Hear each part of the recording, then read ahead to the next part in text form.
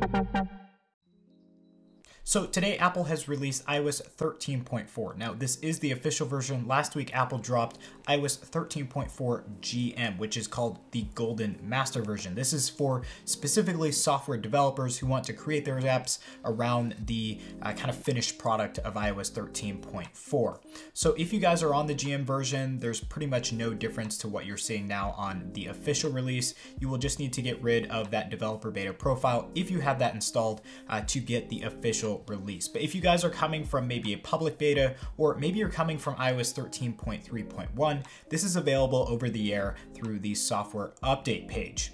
Now, iOS 13.4 is quite a significant update simply because it is likely the last major version of iOS 13 that we'll be seeing. We've never seen a 0.5 of any iOS version. Apple may correct that this year, but Till now, we really haven't seen anything like that. So iOS 13.4 is likely the last major version of iOS 13 that we're seeing, and this is a very uh, significant update simply because on the speed and performance side of things, we want to make sure that things are working top notch before we move on to iOS 14. So let's go ahead, dive into iOS 13.4. In today's video, I'm going to give you kind of the top five things that have changed within iOS 13.4. If you wanna see all of the minor changes that have been made, including the ones we'll be talking about today, uh, go and watch my previous video where I kind of showed that on the GM version. But let's go ahead and see what's new in iOS 13.4. And then in a little bit, we'll talk about if you guys should be updating to iOS 13.4. Okay, so we have the iOS 13.4 update loaded up on this iPhone 11 Pro Max. For me, the update size was just around three to four gigabytes. So uh, depending on your device, the uh, build will be larger or smaller, but it's not that big of a build and it doesn't eat up too much space on your device. But let's go ahead and share with you guys um, some more information about this update. Um, so obviously a new software version, iOS 13.4. And then if we go down into the build number. We have a new build number of 17E. 255. So that is your new build number. And if we go a little bit farther down into this menu, this is actually our first major change that we saw within this update. So we have new modem firmware. Uh, the modem firmware for this version of iOS is 1.05.28. Now, if you guys have a different device, maybe you have an iPhone 8, 8 Plus, or any other device other than an iPhone 11 Pro Max, uh, you will have a different modem firmware. So just be aware of that. If you guys have a different modem firmware, don't freak out. It's just because you have a totally different device, any different modem installed. Um, so the modem firmware 1.05.28 will be a lot better for LTE connectivity, maintaining certain speeds, and also giving you better connectivity. So what I mean by that is that you probably won't be experiencing those LTE dropouts. You'll have better, more consistent internet, and then also your calling may see an improvement as far as call quality and then also range as well. Okay, so the next major feature that we're seeing here at iOS 13.4 is mouse support for the iPad. So if you have an iPad or iPad Pro, you can now connect a mouse and use it seamlessly with iOS 13.4 and your device. Previously, it was strictly a, a kind of accessibility feature, wasn't really fully supported, there's a lot of bugs, and the experience was less than enjoyable. But now in iOS 13.4, using a mouse is actually a really great experience and only pushes users more towards kind of switching over from a laptop or a desktop PC or Mac and switching over fully to the iPad simply because you can use it just like any other device. Now for mouse support, you have a new cursor. You can go ahead and customize the cursor and its settings. You can also customize the button controls if you have a mouse that has multiple buttons on it. It's actually really easy to do all through the settings app. There's a few other settings that you can change for mouse support, so definitely take a look if you want to go ahead and use this feature. It's definitely something that I would recommend taking a look at if you own an iPad because it might just be that one thing that'll make you switch over from a traditional computer going fully over to an iPad, making it your full-time productivity tool. Now, next up, we're seeing new Memoji stickers. And while this might not be the most fascinating thing that we're seeing in iOS 13.4, it's definitely important because Apple continues to develop this feature. So Memoji support has added things like um, you reading a MacBook, um, different faces and different expressions on Memoji.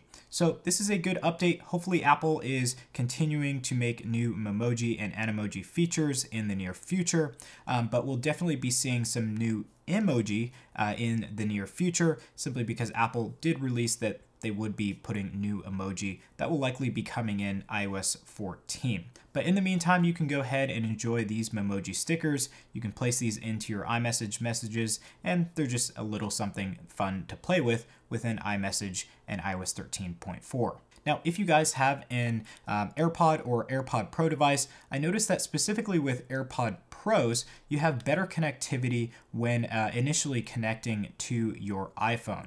Um, so before in previous updates, the update was kind of slow um, as far as connectivity goes.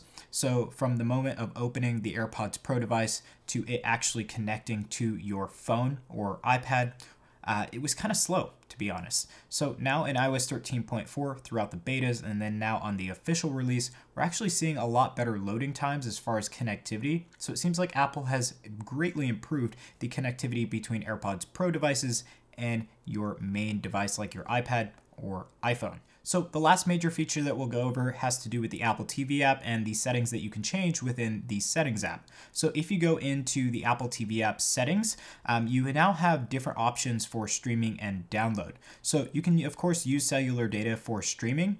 Um, so if you go into cellular options here, you have high quality, which uses a lot more data when streaming, or you can go to the data saver plan, which will stream up to 600 megabytes per hour. So you can go ahead and select that for your streaming options, and then you have streaming options for Wi-Fi as well. Um, so for Wi-Fi, they've saved the data saver plan to uh, basically one gigabyte per hour since you're on Wi-Fi. So if you have any connectivity limits through Wi-Fi, um, that has been raised to one gigabyte, but it's a lot better than the 800 megabyte or 600 megabyte limit that you had through cellular. Now you also have these uh, kind of similar options on download options. So if you activate use cellular data on download, you, that now opens the cellular menu. So you can have fast downloads, so faster download and it uses less storage, or you can have a more high quality download, which is a little bit slower, but uses a lot more storage because you're getting a lot more data because it is in a higher quality. So now you have the option to do that on Wi-Fi as well. Um, so you have very similar uh, kind of options there. I don't see why that would really affect um, Wi-Fi as much as it would cellular, but you can of course change those options within the settings app here. And then audio lang languages, this was here before. Of course, you can mess with those settings should you choose to do so. Okay, so those were some of the new features and changes that we found within iOS 13.4. Let me know in the comment section down below what was your favorite new feature or change brought to iOS 13.4. One other change that has been brought to iOS 13.4 is new wallpapers, specifically for the new iPads that were just released last week from Apple. So if you want those new wallpapers, maybe you want to install them onto your iPhone or any other device, I'll have a link down below to where you can pick those up and download them for yourself. But let's move on to speed and performance. Speed and performance is always a big topic when it comes to iOS updates, but specifically for iOS 13.4, since this is the last update that we'll likely be seeing for iOS 13, uh, we definitely want to make sure that it is a solid update before we move on into iOS 14 betas. We might be seeing subsequential updates of iOS 13.4.1, um, 0.2 for bug fixes, um, security patches, everything like that, but they won't bring any new features or major performance changes. But let's get on to speed and performance. As I said in my GM version video, speed and performance is definitely on the rise here, and it's actually something that you can visually see in regards to graphics performance. So graphics performance is quite high here in iOS 13.4, even on older devices. You can see that between iOS 13.3.1 and 13.4, there's a visual uh, kind of speed improvement. So you can actually see the speed. Um, everything is working throughout the UI a lot faster in iOS 13.4. So that's really nice to see. Performance wise, um, like let's say CPU performance and battery performance working hand in hand, um, how is that going? Well, battery performance, I would say, has not changed for older devices. But if you have an iPhone 8, 8 Plus, or newer, your battery performance is going to go up depending on which device you have, maybe like 3 to 5%. That is fully dependent on what device you have, but That's a pretty significant update uh, given this is a software update and you get more battery life uh, for your devices. Now, if you have older devices, I can't really guarantee that you'll see any difference. I definitely didn't see that things were hurting the battery life, but I didn't see an improvement either. So your mileage may vary with uh, this update on older devices, but for older devices, you're still getting really good performance, still really good battery life, and if you guys are maybe going to get phased out in iOS 14, this is kind of a great update to um, end up on should you not want to get to iOS 14 or can't get to iOS 14 in the future. So guys, that was speed and performance and battery life. Should you guys be updating to iOS 13.4? Well, last week I said maybe hold off a little bit just because you want to make sure that there's no major bugs or anything like that within this update that might affect your device. Now, the GM version is literally the same build as the official release.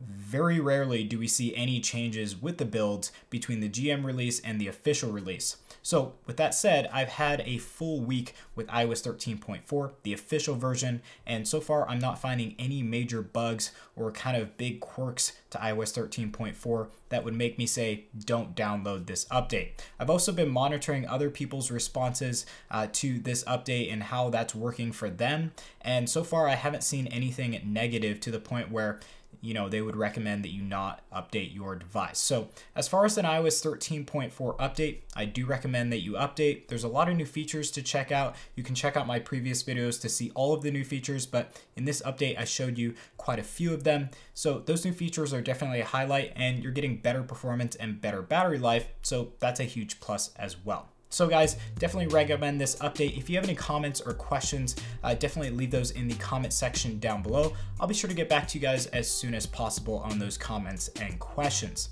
Now, if you guys want to stay up to date with any uh, future content, definitely leave a like on today's video, get subscribed, and hit that notification bell button. If you want updates on Twitter, you can follow me on Twitter. That is the QR code for my Twitter account pretty active there, and you can always reach out to me on Twitter if you have any questions or comments as well. So guys, Thank you again for watching today's video. Again, links in the video description down below if you have any questions about wallpapers or any information about what I talked about today. And of course, I'll be seeing you guys in some future content. Until then, I hope you all are enjoying iOS 13.4.